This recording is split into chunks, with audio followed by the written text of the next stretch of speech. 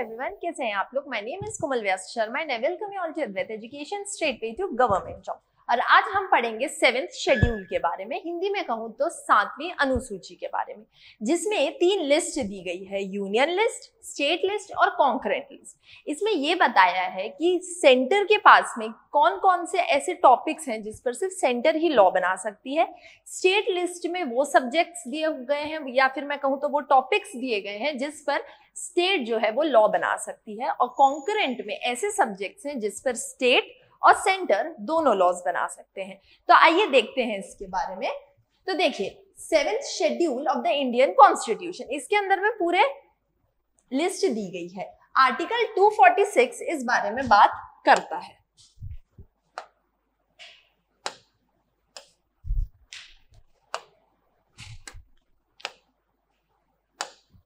Article 246 में सारे rules दिए हुए हैं कि किस तरह से लॉज जो है, उस पर्टिकुलर सब्जेक्ट पर बन सकते हैं और कौन बना सकता है। तो चलिए, इसके बारे में पढ़ते हैं।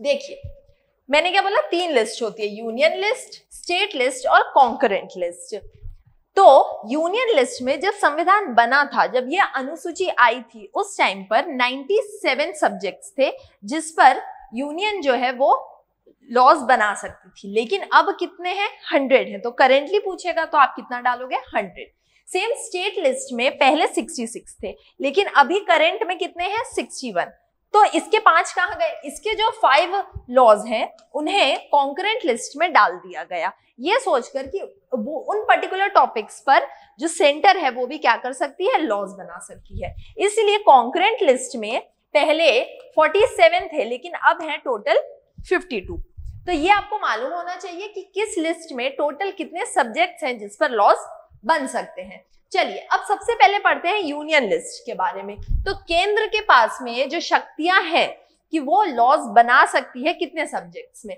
तो जैसा कि मैंने कहा था कि पहले थे 97 लेकिन अब कितने हैं टोटल 100 तो centre has the exclusive powers to make the laws कानून बनाने की केंद्र के पास में ही विशेष शक्तियाँ हैं। मतलब वो पर्टिकुलर टॉपिक पर सिर्फ़ केंद्र ही क्या कर सकती है, कोई भी कानून ला सकती है। और ये चीज़ क्या डिपिक्ट करता है? ये डिपिक्ट करता है एक स्ट्रॉन्ग सेंटर कि जो केंद्र है वो क्या है? ज़्यादा पावरफुल है as compared to state reason है, हमारा देश क्या है? क्वासाई फेडरल है। और एक यूनिटरी टिल्ट के साथ में कि कहीं ना कहीं जो सेंटर है उसके पास में ज़्यादा पावर्स हैं। और इसीलिए उनके पास में ज़्यादा सब्जेक्ट्स भी हैं, उनके पास ज़्यादा टॉपिक्स भी हैं जिस पर वो लॉज ला सकते हैं। और बहुत ज़्यादा जो इंपॉर्टेंट सब्जेक्ट्स होते हैं, जो नेशन वाइड आप कह सकते हो, जो इंपॉर्टेंस रखते हैं नेशन वाइड तो वो सारे सब्जेक्ट्स जो है वो सेंटर के अंदर में लाए जाते हैं। तो देखिए all issues that are important for the nation nation के लिए जो इंपॉर्टेंट है and requires the uniformity of the legislation world wide है ना? कि नेशन वाइड में जो यूनिफॉर्मिटी चाहिए कि हाँ जम्मू एंड कश्मीर में भी सेम लॉ की ज़रूरत है, वही लॉ आपके महाराष्ट्र में ज़रूरत है और वही लॉ आपके केरला में भी ज़रूरत है। तो नेशन वाइड जिस लॉस की हमें कॉमनली ज़रूरत पड़ती है तो उन टॉपिक्स पर कौन लॉ बनाएगा? सेंटर लॉ बनाएँगे, है ना? तो यूनियन लिस्ट में ही उन्हें क्या किया गया? अगर मैं हिंदी में बोलूँ तो सभी मुद्दे जो राष्ट्र के लिए महत्वपूर्ण हैं और राष्ट्रव्यापी कानून की एक रूपता की आवश्यकता है जिसके लिए। तो उन्हें संघ सूची में शामिल किया जाता है। बिकॉज़ देखिए सेंटर में स्टेट में क्या होगा? डिफरेंट डिफरेंट पार्टीज़ की गवर्नमेंट है। तो सबके अपने अलग सोच होती है। लेकिन सेंटर एक कॉमनली वर्क करता है। तो वो सब टॉपिक्स जिस पर हमें ऐसा एक मत चाहिए कि ऑल ओवर इंडिया में वही चीज़ चलेगी तो वो सब टॉपिक्स को स्पेशली क्या किया जाता है? यूनियन लिस्ट में डाला जाता है। तो चलिए, सब वो टॉपिक्स को देख लेते हैं। कौन कौन से इंपॉर्टेंट टॉपिक्स होते हैं? पहले एक बार टॉपिक स्टार्ट करने से पहले यहाँ पे एक चीज़ देखिए। एटी अमेंडमेंट लाया गया था और इसके तहत एक नए सब्जेक्ट को यूनियन लिस्ट में ऐड किया गया, जो कि था taxes on services taxes on services मतलब सेवाओं पर कर।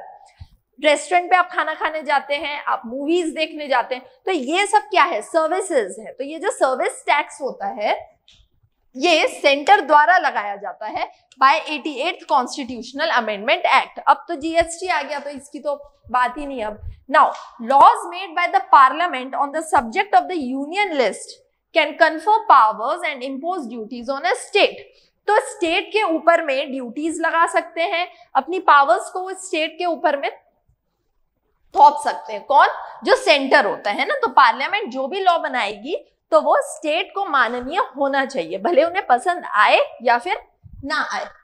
चलिए, अब देखते हैं कौन कौन से टॉपिक्स होते हैं। देखिए, अगर मैं यहाँ पिक्चर के हिसाब से बताऊँ तो एटॉमिक एनर्जी है ना? एटॉमिक एनर्जी प्लांट्स जो होते हैं तो भाई ये तो ऑल ओवर इंडिया का एक ही रहेगा ना? ऐसा थोड़ी है कि डिफरेंट स्टेट्स के डिफरेंट एटॉमिक प्लांट्स होंगे, है ना?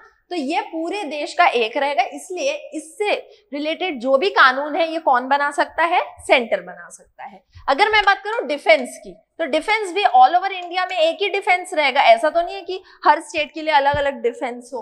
तो बिकॉज़ एक ही डिफेंस है तो इसलिए इसका ये किसमें जाएगा आपका? यूनियन लिस्ट में, कि एक ही लॉ बनेगा ऑल ओवर इंडिया के लिए। अगर मैं बात करूँ रेलवेज तो रेलवेज भी गवर्नमेंट के हाथ में है है ना? रेलवे भी आपकी एक ही है पूरी जगह में तो इस पर इसका भी अधिकार किसके ऊपर है? सेंटर के ऊपर में है है ना इसका अधिकार। तो सेंटर चाहे तो इस पर रूल्स बना सकती है। समझ आया? एटॉमिक एनर्जी डिफेंस रेलवे आगे बढ़ते हैं। सिटीजनशिप अभी एनआरसी आया था सी आया था तो सिटीजनशिप पर किसने लॉ बनाया? पार्लियामेंट ने लॉ बनाया, क्योंकि उनके पास ये अधिकार है। तो सिटीजनशिप का अधिकार किसके पास में है? पार्लियामेंट के पास में। मैं बात करूँ अगर हाईवेज की ये देखिए, ये फ़ोटो में आपको समझ आ रहा होगा ये क्या है आपका हाईवेज तो हाईवे से रिलेटेड जो भी लॉज रहेंगे, ये भी कौन बनाएगी? सेंटर बनाएगी. यहाँ पे देखिए, ये है आपका पोर्ट जितने भी इंडिया में पोर्ट्स हैं तो ये सब भी किसके कंट्रोल में होते हैं? सेंटर के कंट्रोल में. और सेंटर के पास में ही ये पावर्स होती है कि वो इससे रिलेटेड क्या करे? लॉज बनाए. चलिए, आगे बढ़ते हैं. बैंकिंग अभी देखिए नेशनल जो भी बैंकिंग का प्राइवेटाइजेशन की बातें चल रही हैं तो ये कहाँ चल रही है? पार्लियामेंट में चल रही है राइट right? तो सेंटर हैज़ द पावर कि वो बैंकिंग से रिलेटेड लॉस लेकर आए। पोस्ट ऑफ़िस पोस्ट ऑफ़िस से रिलेटेड भी सारी चीज़ें सेंटर के पास होती है। And same is the stock exchange stock exchange से रिलेटेड भी चीज़ें किसके पास में होंगी? सेंटर के पास में। Bombay stock exchange national stock exchange तो ये सब कंट्रोल में आते हैं किसके? सेंटर के शेयर मार्केट बोलते हैं ना जैसे। कम्युनिकेशन कम्युनिकेशन से रिलेटेड भी सारी चीज़ें। फोर जी फाइव जी जो चल रहा है तो ये सब क्या है? कम्युनिकेशन इंटरनेट है तो इस पर लॉस कौन बनाएगा? सेंटर बनाएगा। क्योंकि ऑल ओवर इंडिया के लिए आपको एक कॉमन चीज़ चलानी है। देन अगर मैं बात करूँ इंश्योरेंस की तो इंश्योरेंस से रिलेटेड भी जो लॉज लाने होंगे तो ये सब सेंटर लेकर आएगी। और इंटरनेशनल रिलेशंस ये कुछ इंपॉर्टेंट है। देखिए, है तो हंड्रेड पर हंड्रेड तो यहाँ पे बताना नहीं हो पाएगा। लेकिन ये कुछ इंपॉर्टेंट है जो रिपीटेडली आपको एग्ज़ाम्स में पूछे जाते हैं। तो इंटरनेशनल रिलेशन और देखिए, अगर ऐसा कोई क्वेश्चन आता भी है जब भी एग्ज़ाम में तो आप खुद भी एक चीज़ को सोच सकते हैं। जब आप न्यूज़ देखते हैं या समथिंग तो आपको खुद समझ आता होगा कि ओके इस पर्टिकुलर टॉपिक पे क्या हो रहा है? कि पार्लियामेंट ही लॉज बना रही है, बहसबाजी किसमें हो रही है? पार्लियामेंट में हो रही है। एक पर्टिकुलर बिल को लेकर, किसी एक्ट को लेकर, किसी लॉ को लेकर, तब उससे आपको, आप कनेक्ट कर सकते हो कि हाँ ये पर्टिकुलर चीज़ जो है, ये पर्टिकुलर सब्जेक्ट जो है, ये यूनियन लिस्ट में आती है या फिर स्टेट लिस्ट में आती है। चलिए, आगे बढ़ते हैं और देखते हैं स्टेट लिस्ट के बारे में। अब देखिए, अगर मैं बोलू स्टेट लिस्ट तो 61 है आज की डेट में सब्जेक्ट्स जिसके ऊपर में स्टेट क्या कर सकती है? लॉज बना सकती है। पहले कितने थे? 66 थे। तो laws can be made on the subjects by the state government कि पूरी तरह से राज्य सरकार के पास में ही अधिकार होता है कि वो क्या कर सकती है? इस पर लॉ बना सकती है। इसमें सेंटर अपना टांग नहीं अड़ाएगा ज़्यादा। अब आर्टिकल 249 में, लेकिन क्या दिया गया है? देखिए आर्टिकल 249 काफ़ी इंपॉर्टेंट है। इसमें पार्लियामेंट को ये पावर है कि वो स्टेट सब्जेक्ट जो होते हैं, है ना? स्टेट लिस्ट के अंदर में जो स्टेट के लिए सब्जेक्ट्स हैं, उस पर भी क्या कर सकती है? पार्लियामेंट भी लॉ ला सकती है। लेकिन उसके कुछ कंडीशंस हैं। क्या है? उनको देखेंगे तो ये चीज़ समझ में आया? Subject enumerated in the state list in the national interest लेकिन वो नेशनल इंटरेस्ट होना चाहिए। मतलब राष्ट्र हित तो राष्ट्र हित में राज्य सूची में उल्लेखित किसी भी विषय के संबंध में कानून बनाने की संसद की शक्ति तो संसद के पास में यह शक्ति है कि वो कानून बना सकती है राज्य सूची के किसी भी टॉपिक के ऊपर में, राष्ट्र हित के लिए। ये सेंटेंस को आपको याद रखना है, तब समझ आएगा। तो ये किस आर्टिकल के अंदर दिया गया है? आर्टिकल 249 के अंदर में। चलिए, आगे बढ़ते हैं। देखिए, तीन कंडीशंस आपको मालूम होने चाहिए कि कब सेंटर जो है पार्लियामेंट जो है, वो स्टेट लिस्ट पर लॉज बना सकती है। तो इसके तीन कंडीशन है। पहला क्या है? अगर राज्यसभा ने कोई रेजोल्यूशन पास किया, देखिए राज्यसभा को क्या कहते हैं? आई ऑफ़ द स्टेट कहा जाता है। हर स्टेट से एक प्रोपोर्शनल लोग जो है वो राज्यसभा में रहते हैं। इनडायरेक्ट इलेक्शंस होते हैं राज्यसभा के।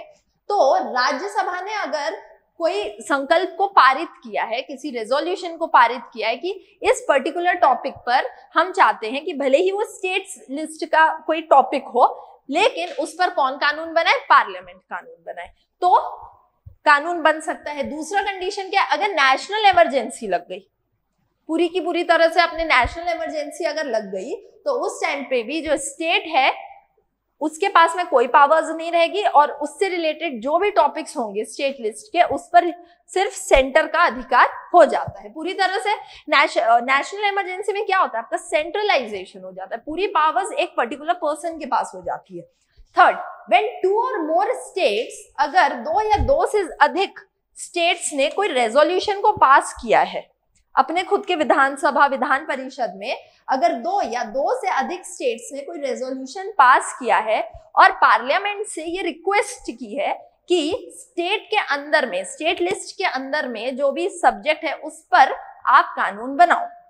ठीक है पार्लियामेंट खुद से नहीं बनाएगा। जब दो या दो से अधिक स्टेट्स जो है वो क्या करेंगे?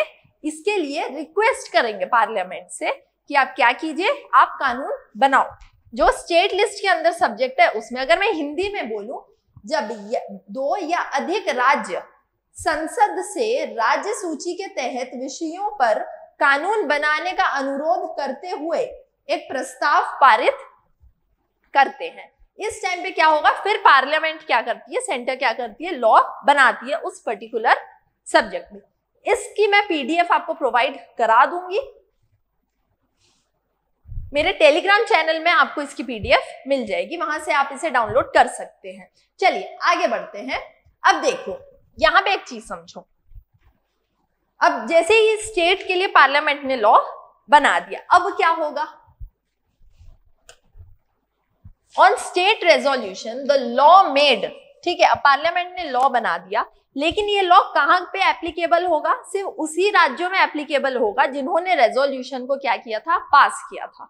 ये चीज़ आप याद रखिएगा, है ना? Is only applicable to such states that pass the resolution जिन्होंने उस रेजोल्यूशन को पास किया था, सिर्फ़ उसी स्टेट्स पर वो पर्टिकुलर लॉ जो है वो क्या रहेगा? एप्लीकेबल रहे। अगर किसी और राज्य को भी वही लॉ अपनाना है तो वो अपना सकता है, लेकिन फिर उस राज्य को क्या करना होगा? एक रेजोल्यूशन पास करना होगा। बस, एक प्रस्ताव पारित करने के बाद में दूसरे स्टेट्स भी उस पर्टिकुलर लॉ को अपने राज्य में यूज़ कर सकते हैं, है ना? एडॉप्ट कर सकते हैं। चलिए, आगे बढ़ते हैं। अब अब पार्लियामेंट ने जो लॉ बनाया है अब एक समय आने के बाद हो सकता है कि उस लॉ को खत्म करना हो या अमेंड करना हो। तो राज्य सरकार खुद से भी कर सकती है, लेकिन पार्लियामेंट के पास ही मेन अधिकार होगा उस पर्टिकुलर लॉ को अमेंड करना या फिर रिपील करना, हटाना। लेकिन स्टेट्स के पास में वो पावर्स नहीं होंगी। कब? दो कंडीशन है। पहली कंडीशन क्या है? For the implementation of the international agreements अगर कोई इंटरनेशनल एग्रीमेंट्स हो रहे हैं, और कहीं ना कहीं वो लॉ अगर आपका एक बाधा बन रहा है फॉर एग्ज़ाम्पल बन रहा है अगर बाधा, तब अगर सिर्फ़ पार्लियामेंट ही है कि वो उस लॉ को क्या कर सकती है अमेंड कर सकती है या रिपील कर सकती है। स्टेट के पास में वो पावर्स नहीं होंगे। भैया, आपने तो लॉ बनाने की पावर दे दी ना पार्लियामेंट को। अब उनकी मर्ज़ी, वो जो भी करे, आपको क्या टेंशन या तो आपको पहले खुद ही लॉ बना लेना था। दूसरा during president's rule president rule मतलब क्या होता है? स्टेट इमरजेंसी तो अगर एक पर्टिकुलर स्टेट में अगर प्रेसिडेंट्स रूल लगा दिया गया तो उसके अंदर के जितने भी लॉज रहेंगे तो वो लॉ बनाने की शक्ति किसके पास आ जाएगी? पार्लियामेंट के पास में आ जाएगी. तो ये तीन कंडीशन आपको पता होने चाहिए कि पार्लियामेंट कब कब लॉ जो है वो बना सकती है. स्टेट लिस्ट के अंदर जो सब्जेक्ट्स हैं, उसके लिए. और जब वो लॉज बना रही है तो वो किस तरह से अमेंड या रिपील हो सकते हैं। चलिए, अब देखते हैं कि वो कौन कौन से लिस्ट हैं जो कि स्टेट के अंदर में आते हैं। एक और चीज़ है इसमें, देखिए स्टेट लिस्ट वाले इंपॉर्टेंस कौन से रखते हैं? जैसे सेंटर वाले तो सेंटर में इंपॉर्टेंस कौन से वाले सब्जेक्ट्स थे जो कि नेशन वाइड एक होने चाहिए, जो इंपॉर्टेंट है। Defence obviously all over India एक ही डिफेंस होगा वैसे। लेकिन स्टेट लिस्ट के अंदर में जो सब्जेक्ट्स हैं, वो हमेशा एक इंडिविजुअल की राइट्स को एक लोकल रिस्पॉन्सिबिलिटी को देखते हुए रखा जाते हैं उन सब्जेक्ट्स को, जो कि क्या है matter of interest and local importance हो, जिनकी, है ना? और 20 ऐसे सब्जेक्ट्स हैं जिस पर स्टेट लेजिस्लेचर क्या कर सकती है? टैक्सेस लिवाए कर सकती है। देखेंगे कौन कौन से सब्जेक्ट्स हैं, उनको भी अभी देखेंगे। यहाँ पे एक और इंपॉर्टेंट चीज़ जो आपको याद रखना है। Sixty ninth constitutional amendment act of 1991 अब देखिए, इस संविधान संशोधन के तहत क्या हुआ? स्पेशल प्रोविजंस दिए गए किसको? नेशनल कैपिटल को। नेशनल कैपिटल दिल्ली तो दिल्ली के पास में पावर्स भी हैं और उनकी पावर्स को छीन भी लिया गया। क्या है? स्टेट लिस्ट के अंदर में तीन टॉपिक्स होते हैं। Public order police and land तो इस पर राज्य चाहे तो क्या कर सकता है? कानून बना सकता है, क्योंकि वो राज्य की सूची में दिया गया है। लेकिन दिल्ली में ऐसा नहीं है। दिल्ली में ये जो तीन पर्टिकुलर टॉपिक्स हैं, इस पर राज्य अपना अधिकार नहीं रख सकता, इस पर राज्य अपने कानून को नहीं बना सकता। ये तीनों पर कानून कौन बना सकता है? सिर्फ़ पार्लियामेंट बना सकता है। फॉर दिल्ली, याद रखिएगा, दिल्ली के लिए। ये हुआ था आपका sixty ninth constitutional amendment act of 1991 के तहत। तो देखो बच्चों laws can not be made by the Delhi government ठीक है? दिल्ली गवर्नमेंट तीन ऐसे सब्जेक्ट हैं जिस पर लॉस नहीं बना सकती। भले ही वो सब्जेक्ट आपके स्टेट लिस्ट के अंदर आते हैं, फिर भी। कौन कौन से हैं? मैंने बता दिया आपको तीनों। ये देखिए, ये तीन है।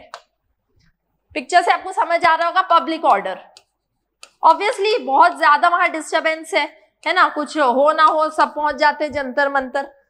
तो इसीलिए। पुलिस और जब लोग पहुँच गए जंतर मंतर तो कहीं ना कहीं पुलिस को तो उनको रोकना पड़ेगा। तो अगर ये स्टेट के हाथ में रहेगा तो सेंटर को पहले स्टेट से परमिशन लेनी पड़ेगी और वो बहुत बड़ा प्रोसेस हो जाता है है ना? तो इसलिए पब्लिक ऑर्डर पुलिस और थर्ड है आपका लैंड तो ये तीन से रिगार्डिंग कोई भी लॉज जो है, वो डेली गवर्नमेंट नहीं बना सकती। इस पर कानून कौन बनाएगा? पार्लियामेंट बनाएगा। इसके अलावा देखते हैं और कौन कौन से टॉपिक्स हैं जो सब्जेक्ट लिस्ट के अंदर में आते हैं। बस ये तीन आपके एक्सेप्शन है ये सब्जेक्ट लिस्ट के ही अंदर में। लेकिन इस पर कानून कौन बनाएगा? सेंटर बनाएगा, सिर्फ़ दिल्ली के लिए। अब देखिए पब्लिक हेल्थ अगर मैं बात करूँ पब्लिक हेल्थ की। पब्लिक हेल्थ तो अभी जो कोरोना चल रहा है तो मतलब इससे रिगार्डिंग जितने भी लॉज हैं तो ये कौन बनाएगा? ये स्टेट के पास में ये पावर्स है कि वो क्या करे? लॉज बनाए। सैनिटेशन सैनिटेशन स्वच्छता तो इससे भी रिलेटेड लॉस कौन बनाएगा? ये क्योंकि ये देखिए, ये पर्टिकुलर पर्सन के इंटरेस्ट के लिए है है ना? इसका नेशन से कोई लेना देना नहीं है। लेकिन मतलब उनसे भी है एज अ सेंटर भी है नेशन वाइड लेकिन एक पर्टिकुलर पर्सन हेल्दी रहेगा, वो ज़्यादा ठीक है ना? तो इसीलिए उस पर ज़्यादा फोकस कौन करेगा? स्टेट लॉस करेंगे। थर्ड है आपका betting and gambling betting and gambling तो इससे रिलेटेड भी लॉस कौन बनाते हैं? स्टेट गवर्नमेंट बनाती है। चलिए, आगे बढ़ते हैं। ये तो मैंने आपको बता ही दिया पब्लिक ऑर्डर पुलिस और लैंड ये तीन भी आपके स्टेट सब्जेक्ट्स के अंदर आते हैं। देन आएगा आपका fisheries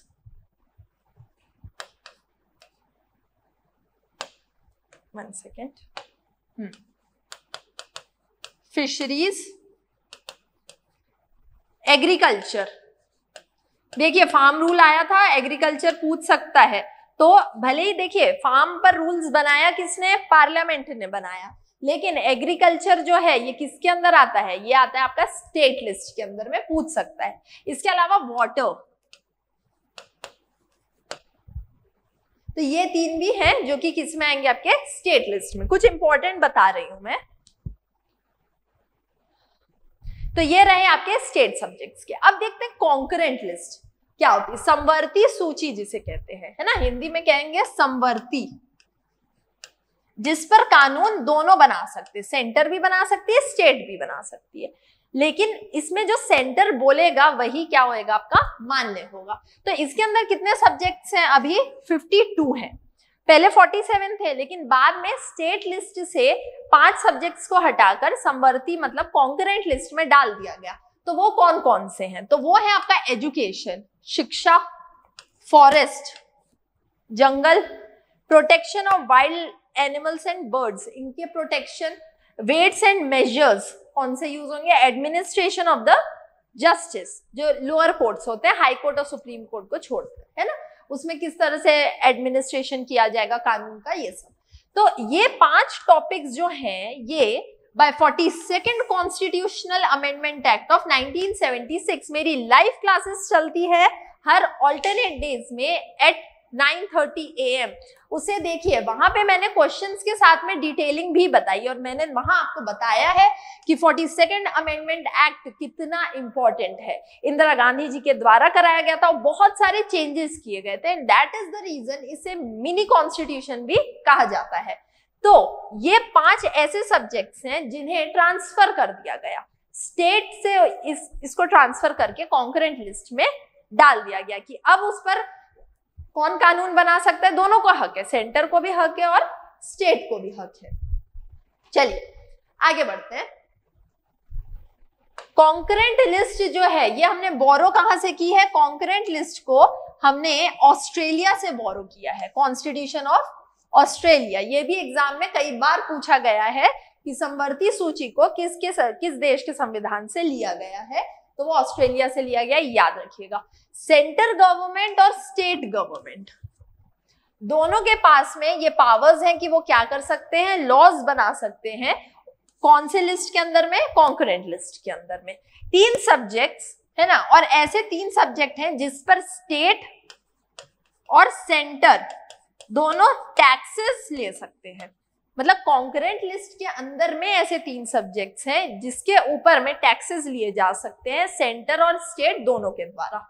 in case of conflict अगर कोई लॉ बनता है और अगर स्टेट और सेंटर दोनों के बीच में कोई कॉन्फ्लिक्ट हो जाती है तो सेंट्रल गवर्नमेंट जो भी लॉ बनाएगी वही मान्य होगा, है ना? प्रीवेल्स वैसे लॉ नहीं होता है एक्चुअली ये कहना चाहिए कि जो सेंटर बोलेगा, अगर सेंटर को ये लगता है कि स्टेट के द्वारा जो लॉ बनाया गया है, वो ज़्यादा इफ़ेक्टिव है। तो उसे मान्य दिया जाएगा। और अगर सेंटर का सही रहेगा तो सेंटर तो अपना ही चलाएगा फिर सेंटर तो इसलिए ये कहा जाता है कि सेंटर गवर्नमेंट के जो लॉज हैं, वही क्या करेंगे? प्रिवेल करेंगे। क्योंकि हमारे में क्या है? जो सेंटर है that is more powerful than the state I hope आपको ये चीज़ समझ में आई होगी। चलिए, कुछ ऐसे टॉपिक्स देखते हैं जिस पर जो कॉन्क्रेंट लिस्ट के अंदर है और जिस पर ये दोनों क्या कर सकते हैं लॉज बना सकते हैं। तो जैसा कि मैंने बताया एजुकेशन तो देखिए, अभी न्यू एजुकेशन पॉलिसी आई थी तो इस पर क्या हुआ? पार्लियामेंट ने अपने लॉज बनाए। आप देखिएगा स्टेट भी लॉज बनाती है, अपनी अलग अलग स्टेट्स जो है, वो अलग अलग तरीके से एजुकेशन पे पॉलिसीज़ लाती रहती है। तो इट डिपेंड्स कि किसको आपको चलाना है। देन फॉरेस्ट फॉरेस्ट पे भी हक दोनों का है बिकॉज़ कहीं ना कहीं ये किससे रिगार्डिंग है? ये है रिगार्डिंग आपके इन्वायरमेंट से। तो और इन्वायरमेंट आपका नेशन वाइड प्रोग्राम होता है। Then trade unions trade unions जितने भी ट्रेड यूनियंस हैं, है ना? तो इस पर भी कौन बना सकता है कानून? सेंटर और स्टेट दोनों। मैरिज मैरिज अभी बहस भी चल रही है कि ये जो मैरिज कि जो एज है गर्ल्स की तो उसे बढ़ाया जाए। जो 18 है, उसे बढ़ाकर 21 किया जाए। तो वो कितना सही है या कितना गलत है तो इस पर भी बहस चल रही है है ना? तो ये क्या, किसका पार्ट ये कॉन्ग्रेंट है मतलब सेंटर और स्टेट दोनों इस पर लॉ बना सकते हैं। देन एडॉप्शन एडॉप्शन अगर करना है, इसके अलावा वाइल्ड लाइफ है ना? बर्ड्स और वाइल्ड लाइफ का protection birds and wildlife protection ये। इसको क्या किया था? फोर्टी सेकेंड अमेंडमेंट के बाद में इसको इसमें ले ले आए थे कॉन्क्रेंट लिस्ट में। पहले ये स्टेट लिस्ट के अंदर में था। क्योंकि ये भी कहीं ना कहीं आपका नेशन वाइड एक इंपॉर्टेंट चीज़ हो जाती है तो इस पर दोनों लॉज बना सकते देखिए, जब भी क्वेश्चन आपको एग्ज़ाम में आएगा ना, आपको कहीं ना कहीं सोचना पड़ेगा कि क्या हो सकता है। आप न्यूज़ देखिए, आपको खुद पता चल जाएगा। बहस न्यूज़ ये सब जब देखोगे ना, अपने आप आपका दिमाग खुलेगा। इसलिए मैं हमेशा ये कहती हूँ कि read polity from politics politics देखिए, लोकसभा न्यूज़ देखिए, राज्यसभा न्यूज़ देखिए तो आपको अपने आप आपका संविधान जो है वो समझ में आने लग जाएगा। आई होप आपको ये तीनों चीज़ें समझ में आई होंगी। ये तीनों लिस्ट कैसे होती है सेवन शेड्यूल्स क्या होते हैं कोई भी डाउट रहे तो आप मुझसे कमेंट सेक्शन में पूछ सकते हैं और बताइए कि ये आपको लेक्चर कैसा लगा। क्या इंप्रूवमेंट्स चाहिए और कौन कौन से इंपॉर्टेंट टॉपिक्स हैं जो आप चाहते हैं मैं आपके लिए उस पर वीडियो लेकर आऊँ। तब तक के लिए thank you very much and keep learning